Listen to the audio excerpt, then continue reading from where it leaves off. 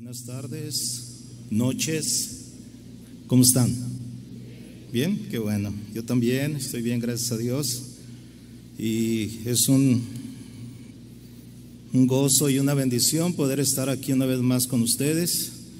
Reciban un saludo de, de mi esposa, de mis hijos y también de la congregación, ¿verdad? Que el Señor nos da la oportunidad de pastorear allá en la ciudad de Seattle, Seattle, Washington. Pues qué bien, ¿verdad? Vamos a la palabra del Señor. ¿Qué le parece? ¿Parece bien? Acompáñeme al libro de Romanos, por favor, o a la carta a los Romanos. Quisiera tomar un versículo en esta, en esta noche para compartir un tema, eh, un tema que le he titulado Si Dios es por nosotros, ¿quién contra nosotros? Y créame que esta palabra hace algunas semanas atrás el Señor trajo mucha bendición a mi vida y, yo sé que así como Dios bendijo mi vida, va a bendecir la vida de usted también. Amén. Romanos 8:31 dice la palabra del Señor así. ¿Qué pues diremos a esto? Si Dios es por nosotros, ¿quién contra nosotros? Este mismo versículo en la versión Palabra de Dios para todo dice de la siguiente manera. Dice, ¿qué podemos decir de todo esto? Si Dios está a nuestro favor, nadie podrá estar contra nosotros. Vamos a orar en esta noche, ¿qué le parece? Padre, te damos gracias en el nombre precioso de nuestro Señor Jesucristo por, por esta oportunidad, Señor, que, que me das. Primeramente, Señor, de estar aquí al frente de mis hermanos, Señor, y compartir tu palabra. Sabemos que tu palabra es es viva y es eficaz y que siempre se cumplirá el propósito por el cual tú la envías, Señor. Tu palabra nunca volverá vacía, Señor. Siempre producirá, Señor, el fruto. Será tan efectiva y eficaz, Señor, en nuestras vidas, porque es tu palabra. En esta noche, Señor, me pongo tus manos, que seas tú hablándonos, Señor, en esta noche a través de, esta, de este tema, Señor. Gracias, Señor, en el nombre de Jesús. Amén. Yo me imagino en este en este día estaba yo leyendo las noticias acerca de los acontecimientos que se están dando en, en Jerusalén, ¿verdad? En Israel. ¿Cuántos están al tanto de lo que está pasando allá? Eh, recordemos que los acontecimientos de Israel, eh, lo que está pasando en Israel es el, es, vamos a decirlo, es el tiempo, es el, el reloj de Dios para nosotros también como iglesia. Y eh, estaba leyendo algunos ¿verdad? reportajes de lo que, lo que el, el primer ministro de Israel habló. ¿verdad? Pero de lo que más me, eh, me, llamó la atención es la confianza que Israel tiene en estos momentos. Eh, la confianza, a pesar de tantos misiles, que en un solo día más de 500 misiles fueron lanzados hacia Jerusalén, hacia Israel, bueno, parte de, de, de Israel, al sur de Jerusalén, ¿verdad? Este, Israel está tan protegido con un sistema eh, en el cual ellos eh, interceden los misiles para que no lleguen a su destino. Y por ahí me di cuenta que ese sistema se llama el ángel protector, fíjese. y, y, pues todo esto pues me llama mucho la atención, ¿verdad? Porque sabemos que el Señor tiene cuidado de su pueblo. ¿Cuántos dicen amén? Y, y eso lo estamos viendo. Pero fíjese, tocante a esta, a esta palabra, a este verso, que muchos de ustedes yo sé que se lo saben y lo conocen, eh, es, es, algo que nosotros debemos de entender, ¿verdad? Eh, con, mucho, con mucha fe, saber que, que Dios está a nuestro favor, que Dios está con nosotros. ¿Cuántos saben que Dios está con nosotros? O sea, una confianza plena, ¿verdad? Como decimos así, ¿no? A ciegas confiando en Dios plenamente. Fíjese que yo le doy gracias a Dios porque puedo estar aquí delante de usted. Eh, yo el, el, año pasado eh, que visité aquí esta, esta, ciudad en el mes de septiembre, eh, pasé unos días aquí en el mes de septiembre con mi esposa y mi hija, la menor, y veníamos con el propósito de, uh, de vacacionar, de tener un tiempo con la familia eh, y también para que mi esposa, ¿verdad?, tuviera unos exámenes acerca de una, de una lesión que ella tenía en su columna cervical, ¿verdad? Que ya nos habían informado cuatro años anterior de una hernia en la columna. Y, venimos a descansar y nos fuimos, ¿verdad? Este, a Vallarta, estuvimos unos días ahí, pero eh, de, regreso fuimos con el especialista de la columna y nos dijo que eh, esa, esa hernia que mi esposa tenía, ¿verdad? Ya se había duplicado, que ya era la, ya tenía dos, ¿verdad? Una eh, en la parte de arriba y le había crecido otra en la parte de abajo. En vez de haber mejorado, esto fue, se empeoró. Y, y, bueno, sí veíamos los dolores, todo lo que le causaba todo esto a mi esposa. Entonces, eso fue en el mes de septiembre. Y yo hablé con el cirujano, bueno, con el, especialista, le dije, y bueno, este, está bien, ¿qué, qué, recomienda? Operación, dice, esto es solamente operación. ¿Y sabe qué? Dice, eh, y tiene que operarse ya porque eh, esto, como usted se dio cuenta, ya no es una, sino son dos. Y le preguntamos, ¿pero por qué dos? Dice, oh Señor, mire, cuando se daña el primer, el, piso de arriba, ¿verdad? Si no se le arregla, también se daña el piso de abajo. Entonces se dañó también eh, eh, esa parte. Entonces yo dije, bueno, pues gloria a Dios, ¿no? Entonces le dije, bueno, en, el mes de, enero normalmente nosotros regresamos a, Guadalajara para, para algunas cosas que tenemos. en enero está bien. Y él dijo, no. Dice, esto tiene que ser ya, su operación tiene que ser ya. Bueno, mire, para no hacerse la larga, le dije, programe la, fecha, programe eh, la, fecha de la cirugía. Eh, él me dijo, el 14 de octubre, ella se tiene que operar. Está bien. Le dije, ella se va a quedar aquí en Guadalajara junto con mi hija, yo me voy a ir a Estados Unidos porque tenía un compromiso a principios de octubre. Y me fui, me fui a mi compromiso, yo tenía planeado regresar el día 11 eh, así como lo planeé regresar el día 11, regresé, pero regresé eh, contagiado con el COVID-19.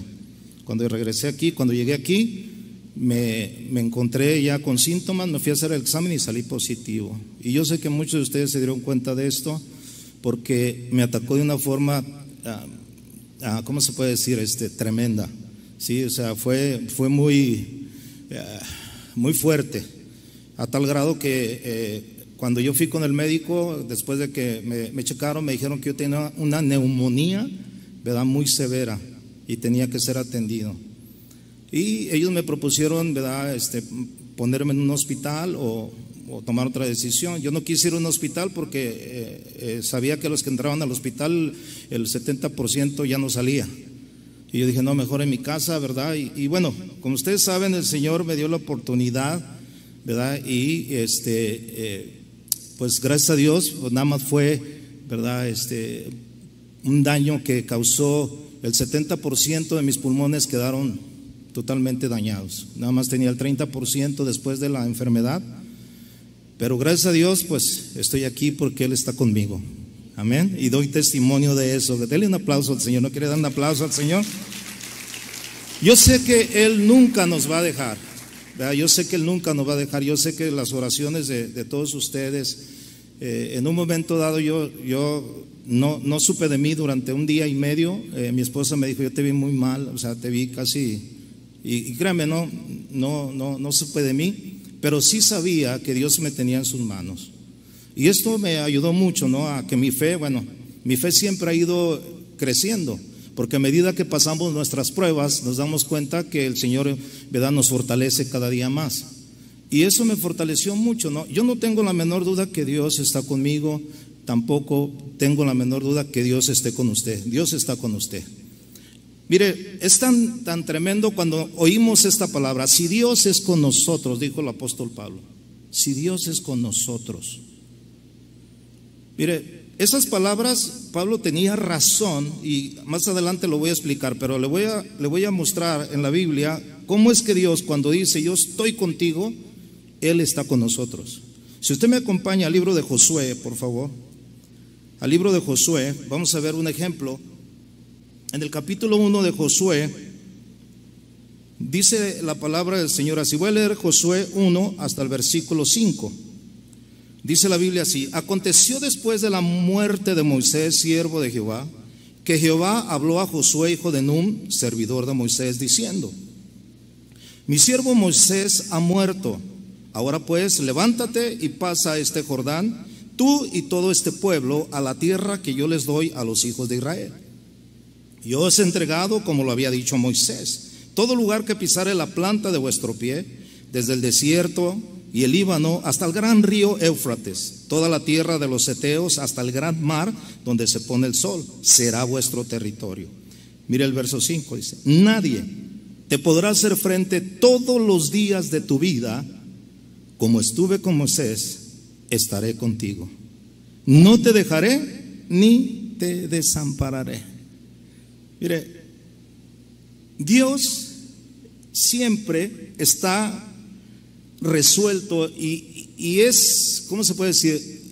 La tarea o, Él se mantiene ocupado para llevarnos a nosotros a alcanzar los propósitos que Él tiene para nosotros. Él está encargado, ¿verdad?, de hacernos llegar hasta el final. Pablo dijo en, en la primera carta, perdón, en el libro de Filipenses, El que comenzó en nosotros la buena obra, la perfeccionará hasta el día de Jesucristo. Si Dios comenzó algo en nosotros, Él la va a cumplir hasta el final. ¿Cuánto lo creen así en esta noche? Y Él siempre va a estar con nosotros, trabajando con nosotros.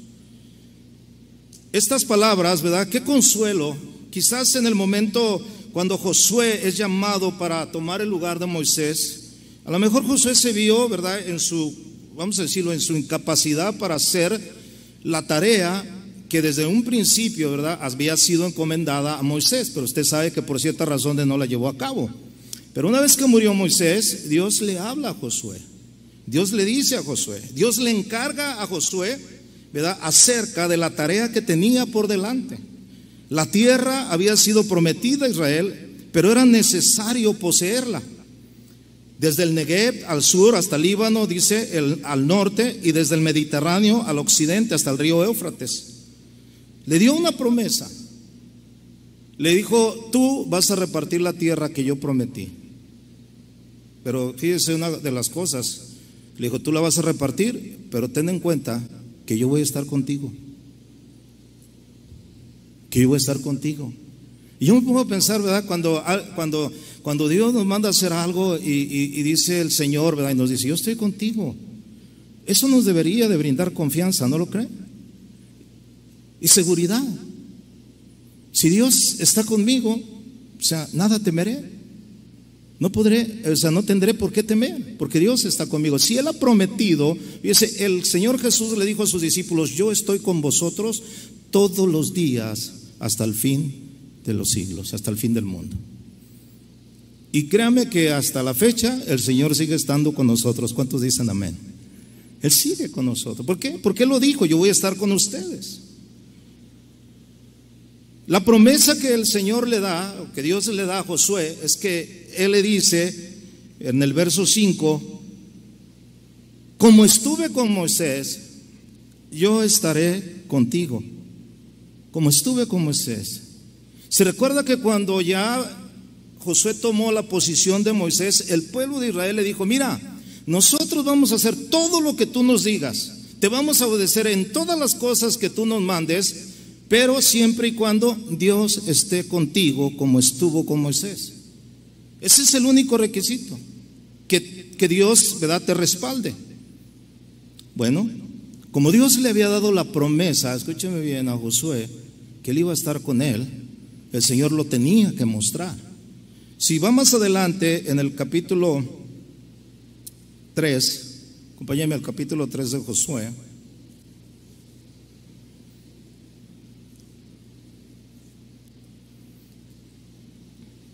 El capítulo 3 de Josué, y aquí Josué está dando órdenes. En el versículo 5, quiero que lea esto.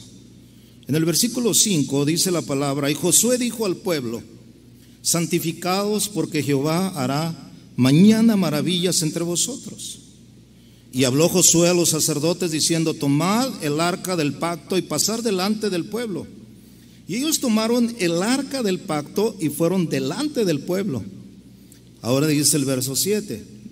Entonces Jehová dijo a Josué, desde este día comenzaré a engrandecerte delante de los ojos de todo Israel para que entiendan que como estuve con Moisés, así estaré contigo. Qué bendición, ¿no cree usted? ¿Se da cuenta? O sea, Josué, por eso es que Josué tuvo la confianza, ¿verdad?, acerca de lo que Dios le había prometido. Así como estuve con Moisés, voy a estar contigo. En el verso 6 del capítulo 1 que leíamos dice, esfuérzate y sé valiente, porque tú repartirás este pueblo por heredar la tierra de la cual juré a sus padres que le daría a ellos. La palabra esfuérzate, ¿verdad? Y sé valiente eh, se menciona en este capítulo, en el verso 6, 7, 9 y 18, cuatro veces se menciona, esfuérzate y sé valiente.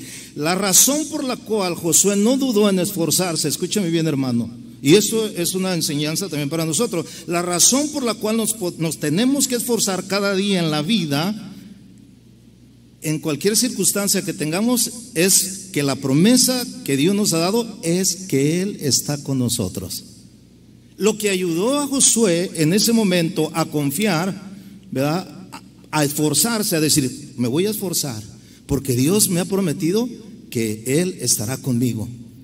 Eso lo motivó a esforzarse. ¿Sabe? Muchas de las veces he visto muchos cristianos que no se esfuerzan en la vida cristiana. Porque dudan.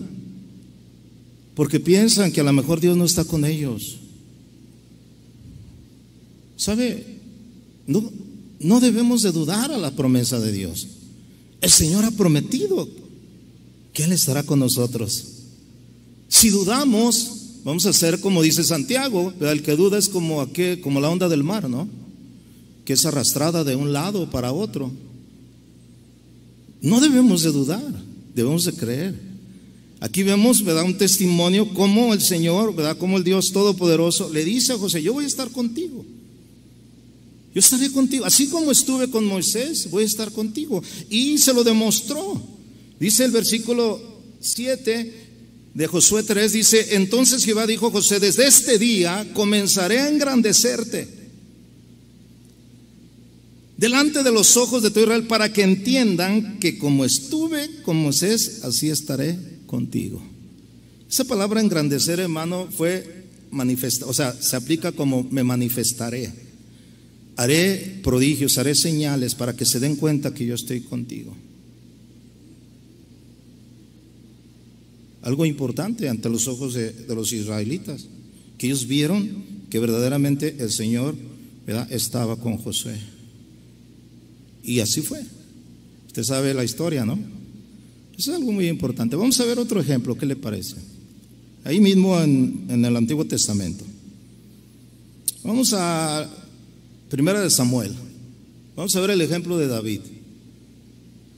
¿Quién no conoce a David? O sea, la historia de David, cómo David fue escogido por Dios para ser el sucesor de Saúl. Un hombre que fue llamado conforme al corazón de Dios. Un hombre que desde no sé de qué edad, porque cuando él peleó con Goliat tenía como 17 años más o menos pero que él tenía una confianza plena de que Dios siempre estaba con él. Era tan íntima la relación que si usted lee los libros, el libro de los Salmos, se va a dar cuenta que la mayoría de esos libros o de esos cantos los escribió David. Pero vemos en la historia cómo David, en un día, eh, cuando Israel estaba en guerra contra los filisteos, había una provocación de parte de Goliat hacia los israelitas, hacia el pueblo de Dios. Y ellos estaban amedrentados ¿por porque ese Goliat era un gigante y siempre provocaba a, Israel, a los israelitas. Y, el Israel tenía miedo. Saúl, el rey, tenía miedo. No había quien le pudiera hacer frente. Pero en 1 Samuel, capítulo 17, quiero leer desde el verso 32. Vaya, vaya conmigo ahí. Dice la Biblia en 1 Samuel 17, 32. Y dijo David a Saúl. Dice, David le dijo a Saúl, no desmaye el corazón de ninguna causa de él, a causa de, Goliat. Tu siervo, o sea, David le dice a Saúl, tu siervo irá y peleará contra este filisteo. Y, y, bueno, cuando escucha esto, Saúl le dice en el verso 33, dijo Saúl a David, no podrás tú ir contra aquel filisteo para pelear con él, porque tú eres, eres un muchacho y él un hombre de guerra desde su juventud. Pero fíjese la seguridad de David. David le respondió a Saúl, tu siervo mira, tu siervo, así como me ves así este muchachito, así como me ves así de chiquito, mira, tu siervo, aquí le responde, ¿ah? era pastor de las ovejas de su padre. Dice, y cuando venía un león o un oso y tomaba algún cordero de la manada, salía yo tras él. Ájole. ¿Alguno de ustedes ha enfrentado a un león? ¿Un oso? ¿Y luego? no se crea. No, pero fíjese, o sea, cómo David se expresa. Y luego dice aquí, dice un oso, y tomaba algún cordero de la manada, salía yo tras él y lo hería y lo libraba de su boca. Y si se levantaba contra mí, yo le echaba mano en la quijada y lo hería y lo mataba. Dice, dice el versículo 36. Fue ese león, fue ese oso, tu siervo lo mataba. Y luego dice, y este filisteo incircunciso será como uno de ellos porque ha provocado al ejército del Dios viviente. Y dice, qué tremendo, ¿no? En el versículo 37 dice, añadió David, Jehová me ha librado de las garras del león y de las garras del oso. ¿A quién acreditaba las victorias que David tuvo contra el león y contra el oso? A Dios. ¿A quién le acredita usted las victorias que ha logrado en su vida? ¿Usted? Va a decir, qué, qué tremendo soy. Soy tan espiritual que... Toda la honra y toda la gloria es para nuestro Dios. ¿Cuánto dicen amén? Él es el que está con nosotros. Fíjese lo que dice David. Dice, Jehová me ha librado de las garras del león y las garras del oso, y él también me librará de la mano de este filisteo. Cuando oyó esto Saúl, fíjese, Saúl le dijo, ay, jole, no, pues. Saúl le dijo a David, ve y Jehová esté contigo. ¿Cómo ve? Híjole, David sabía que el Señor estaba con él. ¿Cuántos dicen amén? No había duda. Imagínense las experiencias que había tenido. Yo puedo decirle ahora, mi amado hermano, que yo sé que Dios está conmigo. Mucha gente ha muerto con esta enfermedad, con esta pandemia. Pastores han muerto. Y si Dios me concedió vivir es porque Él sigue teniendo planes para mi vida, hermano. No me cabe la menor duda. Y sé que Él cumplirá sus propósitos en mí hasta el día que Él quiera. No me cabe la menor duda. Y sabes, e, esto tiene que aplicarse también en tu vida. Tienes que vivir creyendo que Dios está contigo. Nunca debes de dudar que Dios ya te abandonó. Mira, Él nunca nos dejará. Nunca se apartará de nosotros. Nosotros nos apartamos de Él. Dios nunca se apartará de ti. Tienes que tener la convicción de que Dios está contigo. David tenía esa convicción. Saúl le dice, ve y Jehová esté contigo. Pero fíjese, Saúl trató de ayudar a David. Saúl trató de, de proteger a David, a tal grado que le dio su vestimenta como un, como un guerrero. ¿verdad? Usted sabe la historia. David no tenía, ¿verdad?, ninguna experiencia en, ese tipo de batallas. No había estado en ningún ejército.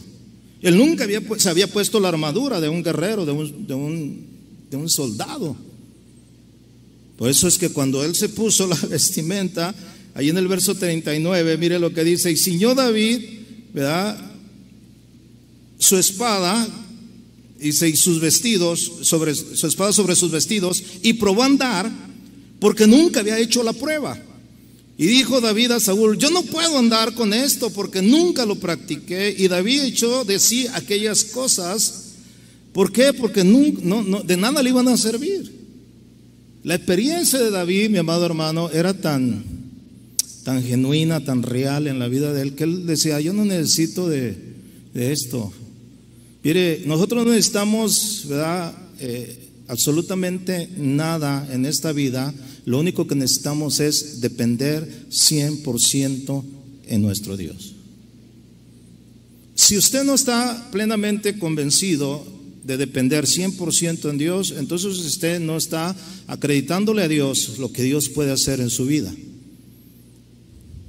Hay muchas, hay muchos eh, ejemplos en la Biblia que hablan, ¿verdad?, de que Dios no permitió, por ejemplo, Gedeón que saliera a pelear con un ejército, le dijo, nada más con 300, te voy a demostrar que con eso la vas a hacer. Y hay muchos casos. ¿Para qué? Para que Dios siempre se lleve la honra y la gloria en la vida de nosotros. ¿Cuánto dicen amén a eso? Dependemos 100% de Dios, ¿sí o no? No debemos de temer. Entonces dice que David echó, decía aquellas cosas y tomó su callado en su mano. Y escogió cinco piedras lisas del arroyo y las usó, las puso, perdón, en el saco pastoril, en el zurrón que traía y tomó su onda en su mano y se fue hacia el filisteo. Y se fue hacia el filisteo como él acostumbraba, traía un morralito, traía una onda y unas piedras.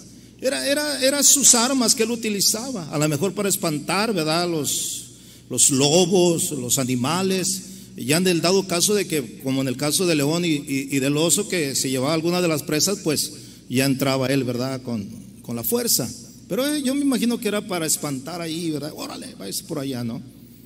Y era lo, que, él, lo que él utilizaba en su trabajo para cuidar las ovejas. Eh, era la práctica de diaria. Tiene una puntería impresionante, hermano. Impresionante. Dice que él, ¿verdad? Se fue acercando. Eh, dice el versículo 41, y el filisteo venía andando y acercándose David, y su escudero delante de él. Y cuando el filisteo miró a y vio a David, le tuvo en poco. En primer lugar, dice, porque era muchacho y rubio y de hermoso parecer. O sea, lo vio, ¿verdad? Imagínense al, gigante, luego ve a ese muchachito, híjole, me mandaron al, al, más joven y al más bonito. Lo voy a destrozar, pensó él, ¿verdad? Se conmovió un poco, ¿no? O sea, Goliat dijo, híjole, y dijo el filisteo a David cuando lo vio, ¿soy yo perro para que vengas a mí con palos? Y maldijo a David por sus dioses.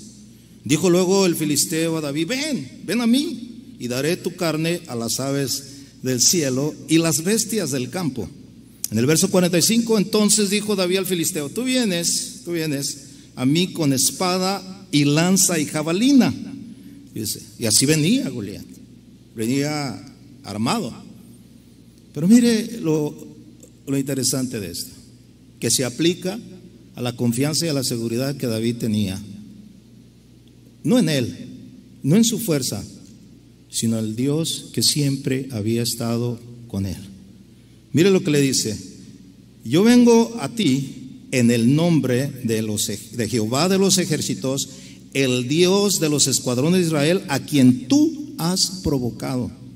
Jehová te entregará hoy en mi mano y yo te venceré y te cortaré la cabeza y daré hoy los cuerpos de los filisteos a las aves del cielo y a las bestias de la tierra y toda la tierra sabrá que hay Dios en Israel.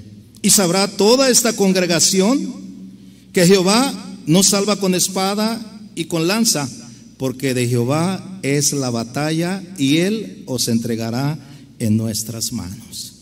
Versículo 48, y aconteció que cuando el filisteo se levantó y echó a andar para ir al encuentro de David, David salió, se dio prisa y corrió a la línea de batalla contra el filisteo. Y metiendo David su mano en la bolsa, tomó de allí una piedra y, la tiró con la onda e hirió al filisteo en la frente y la piedra quedó clavada en la frente y cayó sobre su rostro en tierra. ¿Qué puntería tenía David? ¿Qué puntería? En una sola piedra, mano, en la frente. Lo noqueó de tal manera que cayó y con ese, imagínense nada más el, impacto de caer, ahí quedó. Quizás muerto, quizás semi muerto, no sabemos, pero fue algo impresionante. Lo que siguió después en el verso 50 dice, así venció David al filisteo con honda y piedra e hirió al filisteo y lo mató, sin tener David espada en su mano. Entonces corrió David y se puso sobre el filisteo y tomando la espada de él y sacándola de su vaina, lo acabó de matar. O sea que lo remató. Y le cortó con ella la cabeza y cuando los filisteos vieron a su paladín muerto, huyeron. Qué tremendo, hermano. Pero sabe, todo lo que me, me impresiona es la seguridad que David tenía. Si David se aventó, él dijo, no, pues, ¿quién es este? Filisteo incircunciso. Dios está conmigo. Siempre lo ha estado. Siempre. Y estará conmigo en este día. Por eso es que Saúl le dijo, ve y que Dios, que Jehová esté contigo. David tenía esa confianza. Mire, hermano, es ahí donde nosotros nos tenemos que agarrar de la promesa de Dios. Dios dice, yo estoy contigo. Yo estoy contigo. El apóstol Pablo dijo, si Dios es con nosotros, si Dios es con nosotros, si usted lee el capítulo 8 de Romanos, se va a dar cuenta todo lo que le pasó a él, pero él tuvo siempre la confianza de que Dios estaba con él. Siempre. Nunca dudó. Yo veo la vida del apóstol Pablo y veo un hombre, un hombre de fe. Y así no, imagínense eh, el tal acontecimiento de su encuentro personal con Jesús en el camino de Damasco. Él vio, ¿verdad? Personalmente, él tuvo la experiencia de toparse con el rey de reyes y señor de señores. Y él dijo, es cosa seria. Y allí mismo, por eso en ese momento, cuando él tiene ese encuentro, Dios, eh, eh, Pablo le pregunta a Jesús, ¿qué quieres que haga? Le dice, ve a la ciudad y ahí se te dirá lo que tienes que hacer.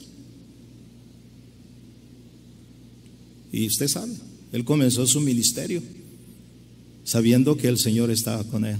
Pues eso, esa es la confianza, la seguridad que nosotros debemos de tener, hermano. Pablo escribió, acompáñame ahí a Filipenses 4.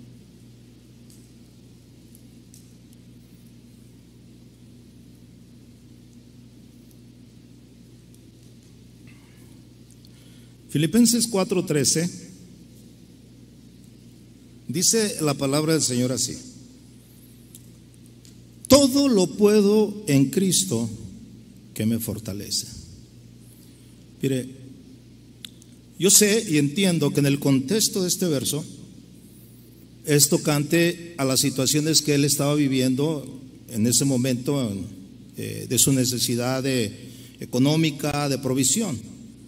El saber pasar necesidad como el tener en abundancia. Yo sé que en el contexto este versículo es, está allí, pero si usted se da cuenta cuando él dice todo lo puedo en Cristo, yo creo, y créanmelo, que no solamente es en el contexto de este versículo referente nada más a lo económico, porque si decimos todo, la palabra todo en el griego es todo. ¿Cuántos dicen amén? O sea, no nada más en lo económico, no nada más, eh, él dice, no, bueno, Dios está conmigo cuando tengo necesidad, que no tengo para pagar mis biles, cuando, cuando esto, este, Dios está conmigo. No, no, o sea, en ese versículo sí el contexto es acerca de, cuando él dice, eh, para todo estoy preparado, se tendrá en abundancia, en escasez. Pero mire, la palabra todo lo puedo en Cristo, no podemos tomarlo así nada más literalmente a ese versículo, por el contexto de lo que yo le compartí en Romanos 8:31. Si Dios está conmigo, ¿qué me puede pasar? Si Dios está conmigo, nada me faltará. ¿Qué dice el Salmo 23? Jehová es mi pastor y nada, ¿qué dice? Me faltará. ¿Cuánto lo creen eso, hermanos? ¿Sí o no?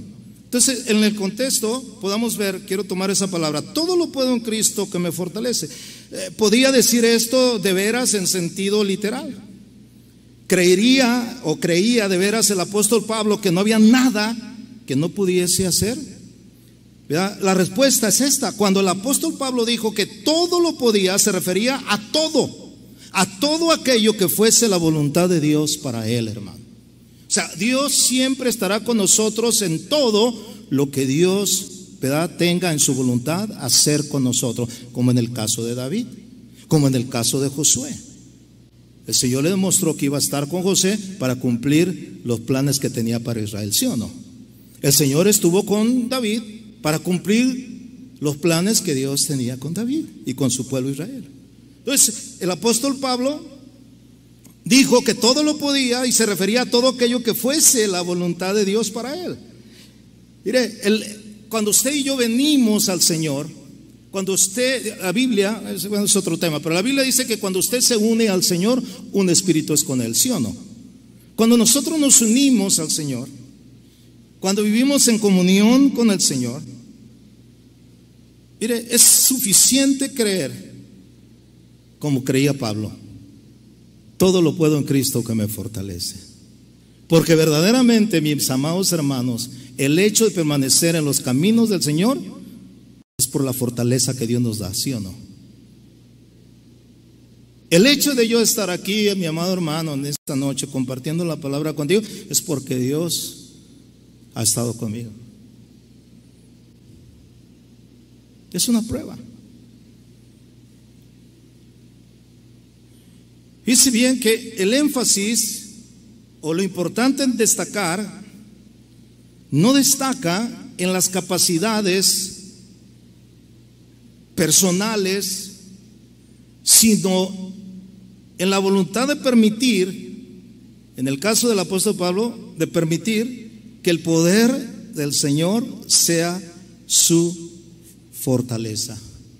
Todo lo puedo en Cristo porque me fortalece. O sea, no es en mi habilidad, no es en mi sabiduría, no es en mi dinero, no es en nada. Mi fortaleza y mi dependencia está plenamente en el Señor. Y con Él todo lo puedo. ¿Cuántos dicen amén?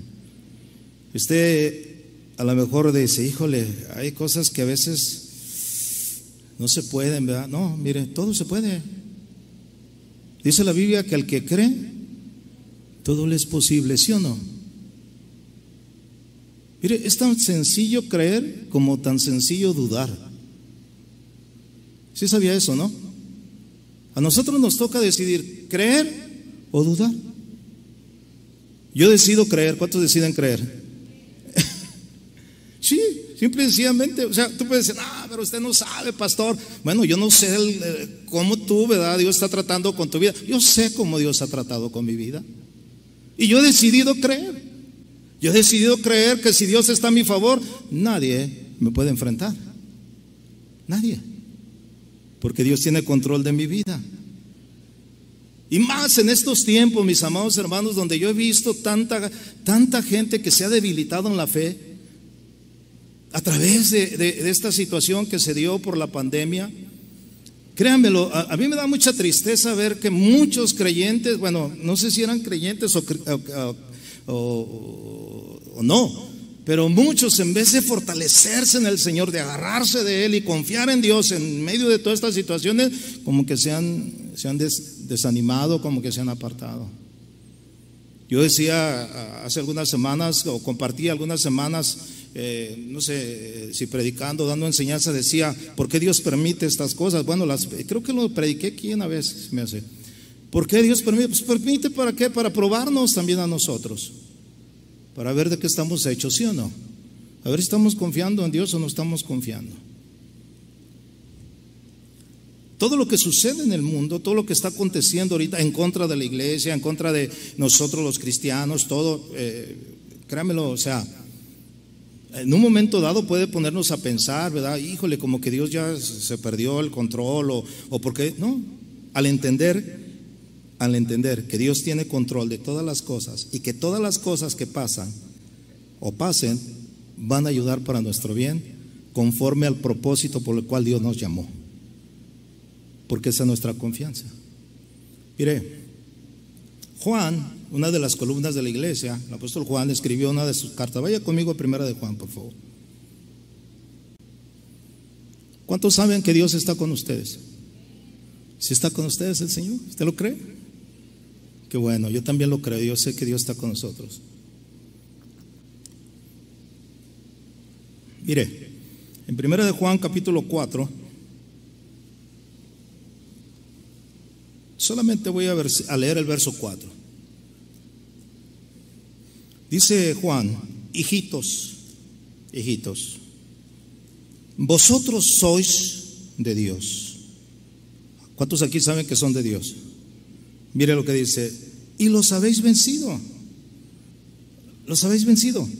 Porque mayor es el que está en vosotros que el que está en el mundo.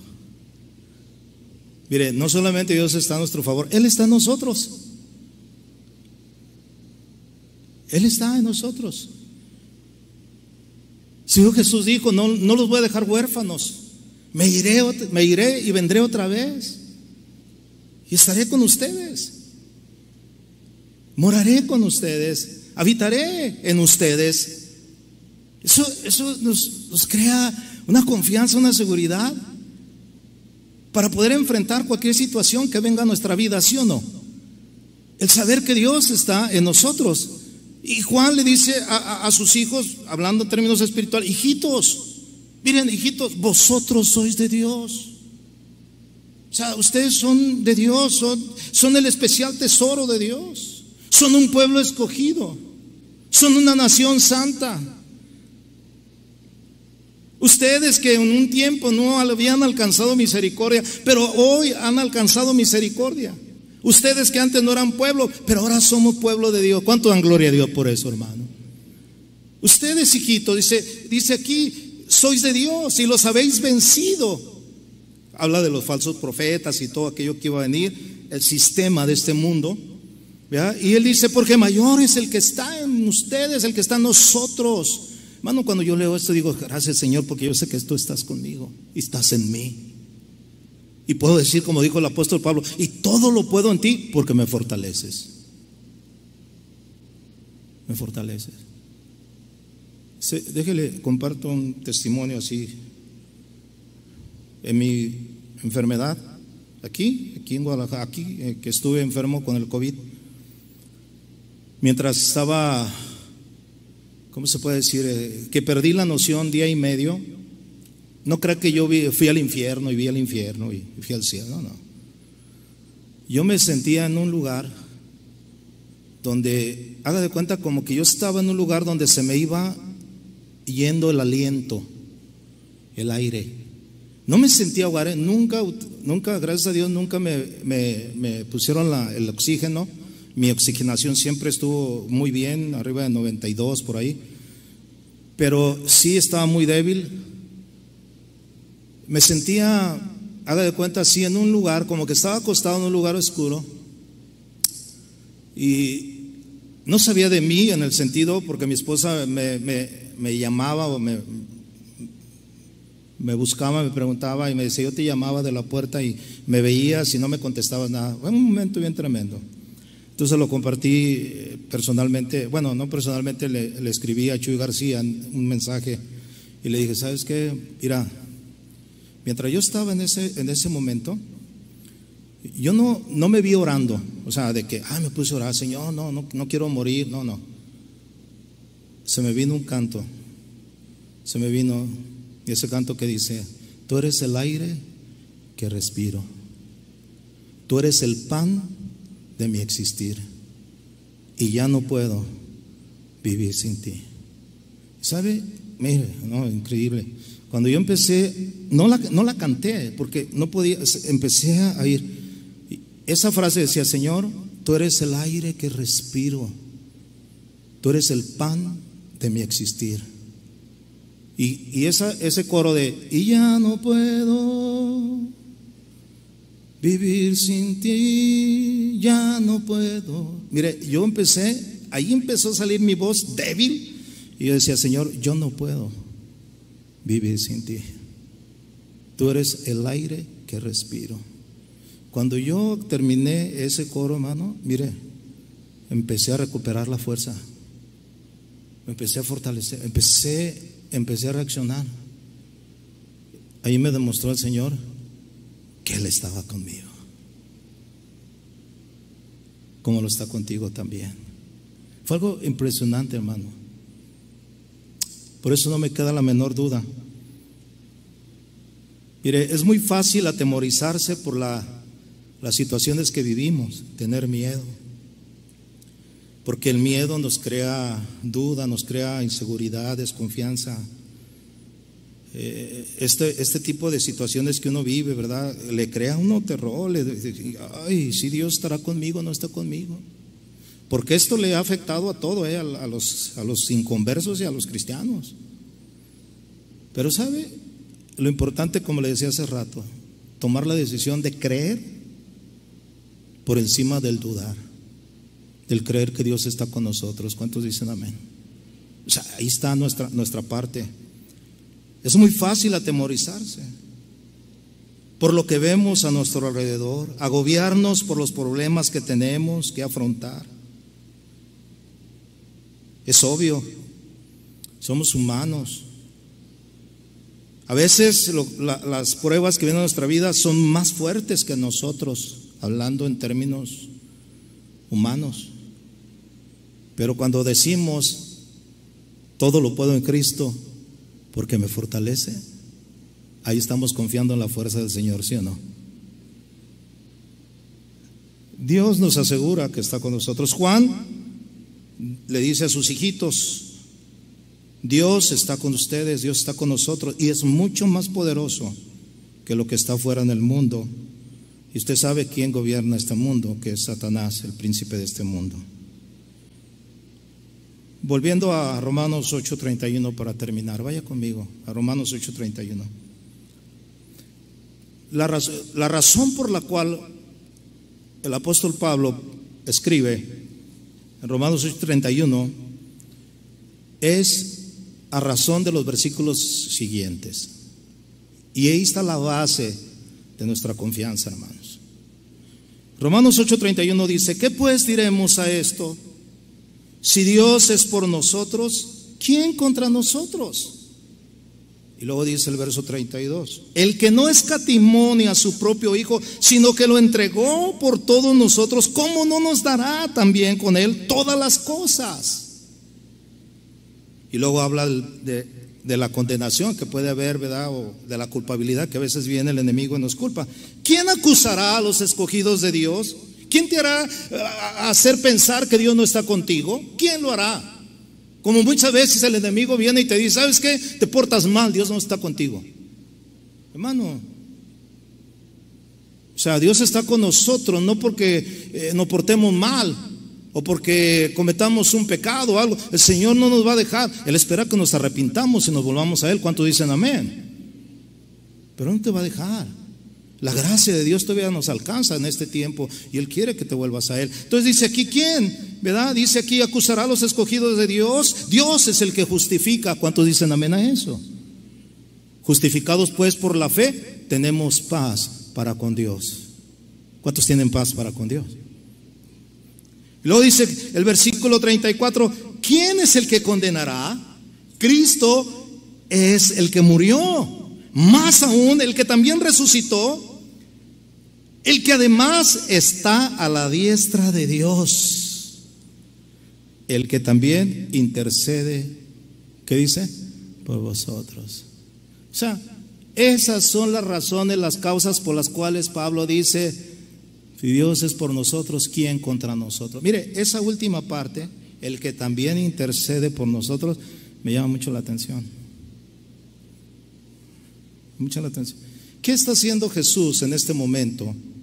¿Cuál es la posición de Jesús? Él está sentado a la diestra del Padre. ¿Cuántos dicen amén? El Padre está en el trono, Jesús a la diestra y el Espíritu Santo morando en nosotros, la iglesia. Él intercede por nosotros como intercedió por Pedro. Él le dijo, Pedro, Satanás me ha pedido permiso para zarandearte como el trigo. Y te va a zarandear, te va a dar una revolcada. Pero yo estoy orando a mi Padre. Estoy orando para que tu fe no falte. Usted tiene que tener esa confianza, hermano. Dios está a nuestro favor. ¿Cuántos dicen amén?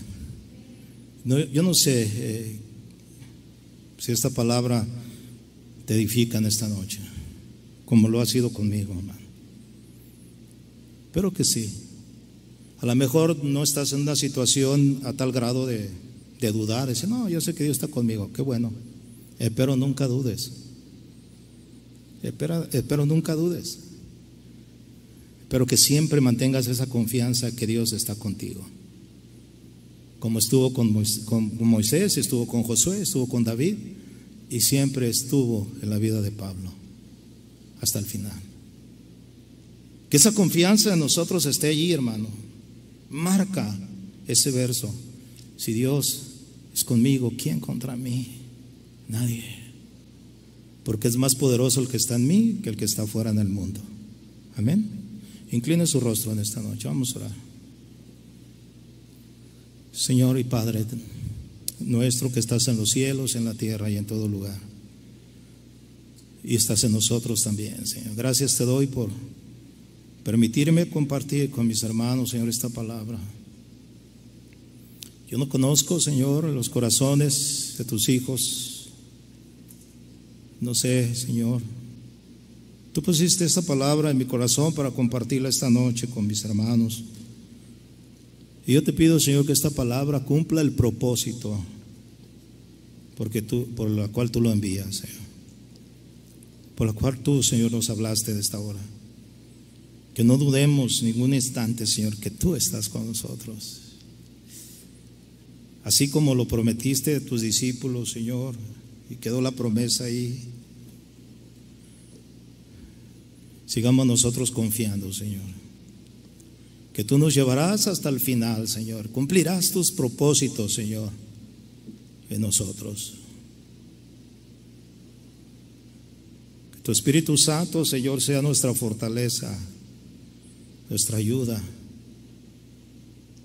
en el momento que lo necesitemos, Señor.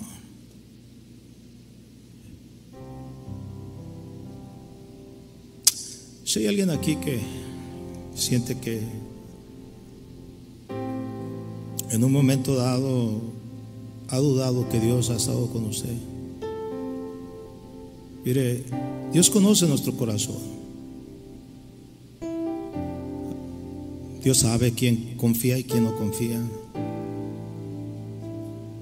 Quiero pedir que se ponga de pie, queremos orar por usted. Ahí donde está en su lugar, póngase de pie solamente. Póngase de pie y levante sus manos al Señor. Levante sus manos al Señor. Mire, levantar nuestras manos al Señor tiene mucho significado. Sirve para adorar a nuestro Dios, pero también levantar nuestras manos es rendirnos a Él. Es confiar en Él. Es como como el padre que le dice al niño, ven hijo, dame tus brazos. Y el niño viene corriendo y levanta sus brazos y el padre lo levanta. Hoy así el Señor quiere ser en tu vida, hermano. El Señor quiere tomarte en sus brazos y que tú tengas esa plena confianza en Él, que Él está contigo, que Él está en ti y que creas solamente. Padre, gracias por cada uno de mis hermanos, mis hermanas, Señor, que se han puesto de pie. Tú conoces su corazón, Señor. Pero también, Señor, sé que en esta hora, Señor, tú fortalecerás cada uno de ellos, sus vidas. Pedimos, Señor, que seamos fortalecidos en esta noche con poder en nuestro ser interior por tu Espíritu Santo, Señor. Hoy, Señor, que tomemos la fuerza que tomemos la fuerza en este día que nos da tu Espíritu, Señor, en nosotros. Y que podamos decir, es el Señor el que me fortalece y me levanta cada día. Muchas gracias, Señor. Muchas gracias, Padre. Gracias, Señor.